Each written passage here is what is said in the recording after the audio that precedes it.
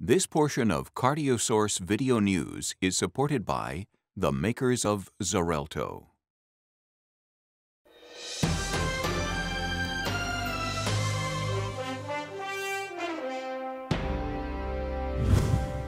Welcome to ACC 12. I'm Dr. Randy Martin with CardioSource Video News.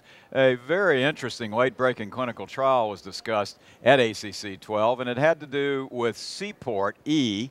And I'm pleased to be joined now by the principal investigator, Dr. Tom Aversano, who's from Hopkins. Tom, thanks for joining us. Oh, my pleasure. Thank so, you. So this is a fascinating study. Tell me a little bit about it.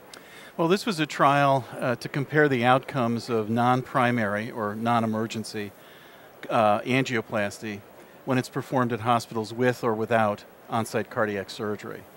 So historically, as you know, the co-location of cardiac surgery and angioplasty has been thought to be important right. because of the potential need right. for emergency surgery in the event of a complication of the angioplasty procedure.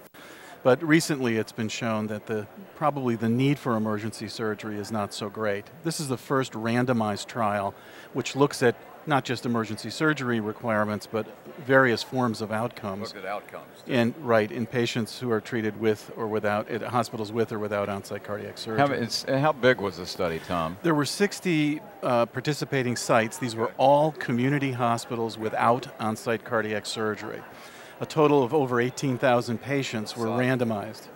Uh, the randomization was asymmetric in the sense that uh, for every four patients who required angioplasty, three stayed at the hospital without on-site cardiac surgery and one was randomized out.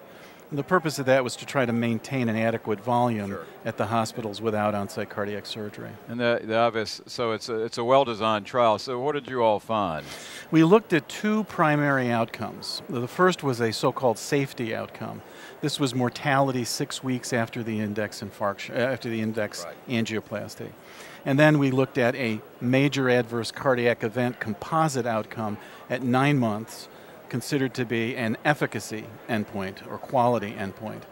For the safety outcome at six weeks, the mortality was not different, and the study was shown to be, the outcome was shown to be non-inferior at the hospitals without on-site cardiac surgery. And we had the same uh, outcome for the MACE, the nine-month MACE. The MACE, parenthetically, was the composite of death, Q-wave myocardial infarction, and target vessel revascularization. So you looked at revascularization. Yes, and so in both uh, the both primary outcomes, short-term, long-term, safety and quality, uh, the outcomes at the hospitals without on-site cardiac surgery were non-inferior.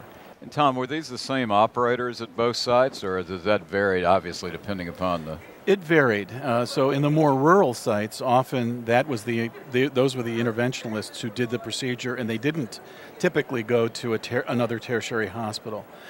in closer in suburban or urban environments, usually the operators uh, performed intervention right. at both types of sites. So you had good outcomes as far as safety and the efficacy of it. You know, the, the question I think everybody would want to know is how is this data, should it be applied in our practices? Well, I think we have to go back to recall that the primary purpose of this project was to try to understand whether healthcare regulators who are responsible for um, you know, geographically locating these, uh, these, uh, this, this capacity for angioplasty can use this as a possible tool. And I think that the outcome of the study says yes, angioplasty without on-site cardiac surgery is safe and effective.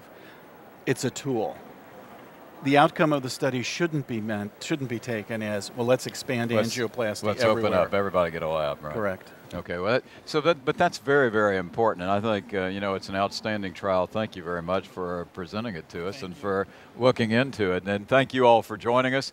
We want you to stay tuned because we'll have much more good information for you from ACC 12.